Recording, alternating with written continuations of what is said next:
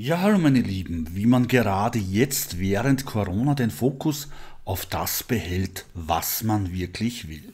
Das ist der erste Teil dieses Themas. Wie behält man in diesen Zeiten seinen Fokus auf seine Ziele, seine Visionen und eben auf das, was man in seinem Leben erreichen möchte. Gerade Anfang dieses Jahres 2020 war ich dabei, meine beruflichen Aktivitäten in eine erfolgreiche Richtung zu bringen. Doch plötzlich war da Corona. Der Shutdown und die Ausgangssperre, der absolute Wahnsinn. Und das uns das wohl alle mal aus der Bahn geworfen hat, eine komplett neue Situation, mit der wir alle auf dieser Welt fertig werden müssen, brauche ich euch nicht extra zu erzählen, denke ich mir. Dass jetzt plötzlich Dinge, die bisher wichtig waren, plötzlich in den Hintergrund gedrängt wurden, ist auch nur allzu verständlich. Von heute auf morgen einen Trainingsbetrieb mit Gruppen auf Homeoffice oder quasi auf Gruppenoffice umzustellen, wie es mir einfach auch ergangen ist, war schon eine Herausforderung für sich. Nicht mehr hinaus zu können, ja alles, was man für sich selbst normalerweise selber entscheidet, war plötzlich abhängig von der Willkür unserer Regierungen. Und natürlich suchen eben auch Menschen und so auch ich nach Erklärungen, nach Gründen und eben auch Ursachen. Menschen, die es gewohnt sind, so wie ich selbstständig und selbstverantwortlich zu sein, nehmen es nicht einfach so hin, dass sie plötzlich nichts mehr selbst entscheiden können, vor allem wenn es direkt die wirtschaftliche Existenz eben auch bedroht.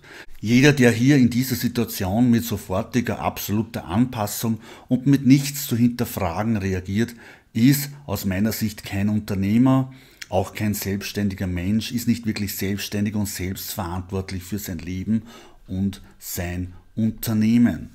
Der Punkt ist jedoch, dass die Gefahr besteht, dass dieses sich mit den Gründen und Ursachen zu beschäftigen und dem Widerstand, der sich natürlich auch in einem aufbaut, irgendwann auch mal die Energie, die eigene Energie ins Negative kippen kann. Ich meine, dass einfach zu viel Energie dafür verwendet und schlussendlich verschwendet wird und so war auch meine Beobachtung auch bei einigen anderen Kleinunternehmern, dass sie sich zu sehr in die Thematik Corona reingesteigert haben. Und auch ich habe immer wieder diesen Punkt gespürt, dass es zu viel werden könnte. Einerseits verständlich, weil eben die Maßnahmen sehr einschneidend waren und sind und nach wie vor kein Ende in Sicht ist. Das heißt, die Planbarkeit eines jeden wird einfach schwer auf die Probe gestellt. Ich rede jetzt nicht davon, dass ich all meine Vorhaben, vor allem mein Bestreben auch mit dem, was ich liebe, so richtig erfolgreich zu werden, komplett auf Eis gelegt habe, was ich natürlich nicht getan habe. Doch ich merkte einfach auch, es fehlte immer wieder einfach auch das letzte Quäntchen, die hundertprozentige Hingabe. Ja, das fehlte einfach. Das heißt, der Fokus, der war einfach nicht zu hundertprozentig auf das gerichtet, was ich eigentlich in diesem Jahr erreichen wollte.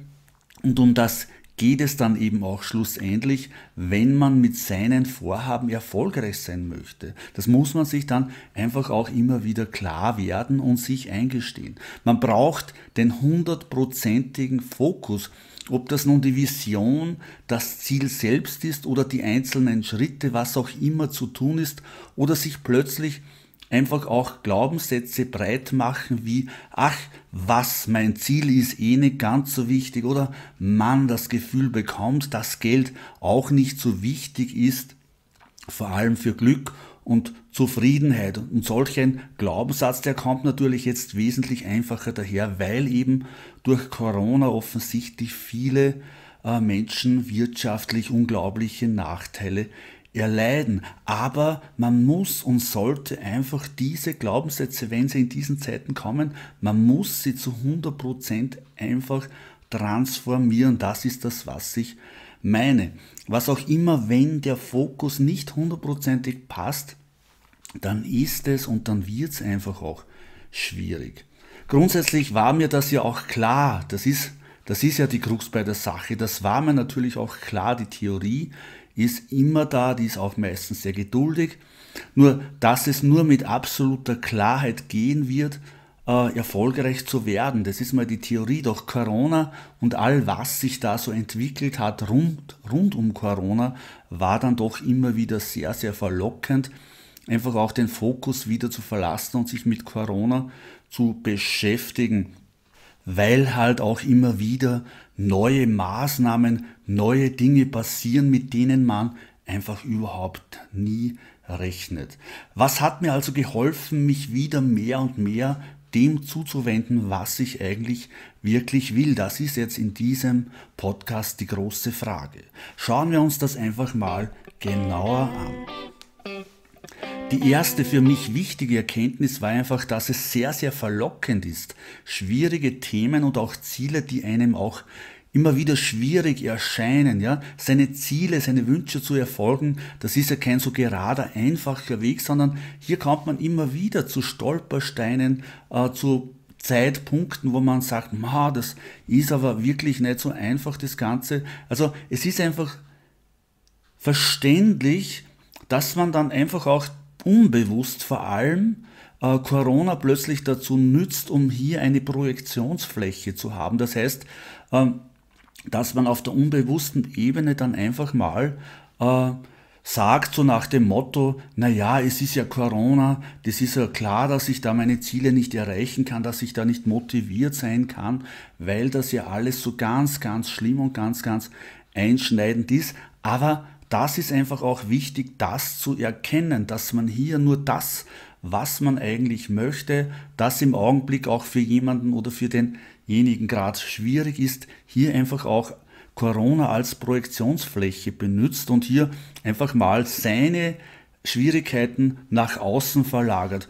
Und das bringt einen schlussendlich und auch mich hat es halt natürlich auch nicht weitergebracht. Corona sollte nicht verantwortlich sein für das, was man macht oder eben nicht macht. Es ist natürlich ein unbewusster Prozess, der da abläuft, das ist überhaupt keine Frage. Und als mir, wie gesagt, das klar geworden ist, dass mich Corona auch gut und angenehm ablenken kann, weiter selbstständig und selbstermächtigt eben meinen Weg zu gehen, konnte ich auch wieder bewusster damit umgehen und Corona verlor und verließ dadurch immer mehr an Wirkung, umso bewusster man sich das auch immer wieder macht.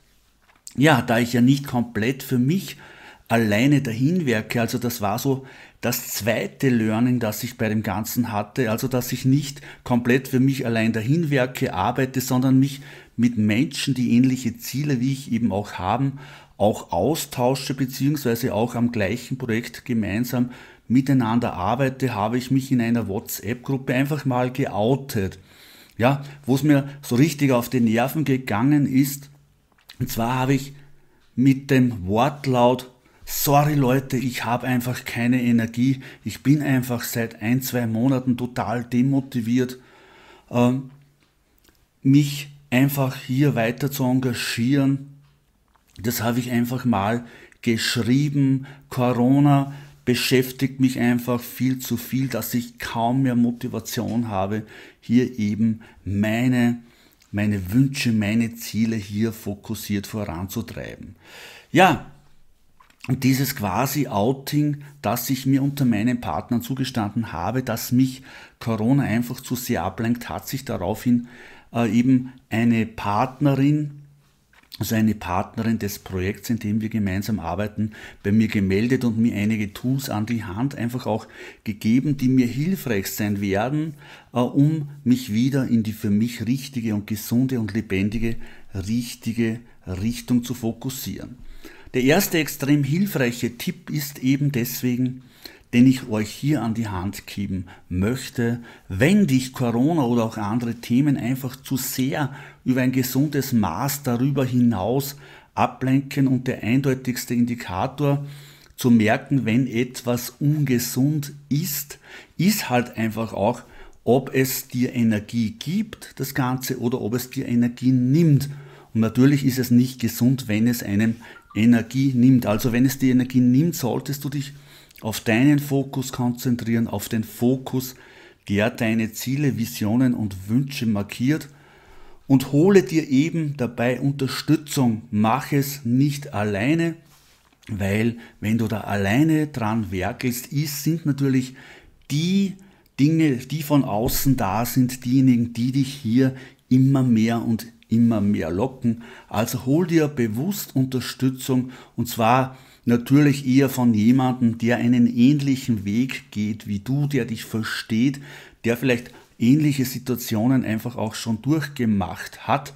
Es wird hier nichts bringen, wenn du dir jemanden holst, der sich sozusagen mit Corona unglaublich beschäftigt und nur noch mit Corona sich quasi beschäftigt, der wird dich eben genau auf die andere Spur bringen. Also hier auf jeden Fall jemand um Unterstützung holen, der mit dem Thema vertraut ist, der im besten Falle ähnliches durchgemacht hat, wie du jetzt gerade eben auch durchmacht. Es war also quasi ein Hilferuf und der wurde einfach auch erhört. Ich habe also angefangen, mir mein Ziel täglich in mein Bewusstsein zu holen. Dabei war und ist mir noch immer eine geführte Meditation sehr hilfreich und vor allem das Wissen, dass es nicht nur ich bin, denn so, denn so Angelegenheiten wie Corona mal aus der fokussierten Bahn werfen. Auch wenn ich seit Jahren meditiere und mich als spirituell eben auch bezeichnen würde, habe ich von so geführten Meditationen, vor allem wenn sie mit Erfolg zu tun haben, nicht sehr viel gehalten. Was soll das schon helfen, war da oft meine Aussage. Doch ich merkte, dass diese geführte Meditation extrem gut getan hat und immer noch extrem gut tut. Ich mich einfach wohler fühlte und fühle vor allem mit der Gewissheit, dass ich mich nicht von Corona vereinnahmen lassen muss und es Menschen gibt, die dir aus reinem Herzen zur Seite stehen. So, meine Lieben, das war's mal fürs Erste. Was du noch weiter für dich tun kannst, tun solltest, um eben in Corona-Zeiten deinen Fokus darauf zu halten, was du in deinem Leben möchtest, was du in deinem Leben dir wünscht, das erfährst du in weiteren Folgen dieser Reihe eben, wie man gerade jetzt während Corona den Fokus auf das behält, was man wirklich will. Also in dem Sinne alles. Liebe, habt einen schönen Tag oder eine schöne Nacht. Ich freue mich auf euch bei den weiteren Folgen dieser Serie. Baba, ciao und Servus.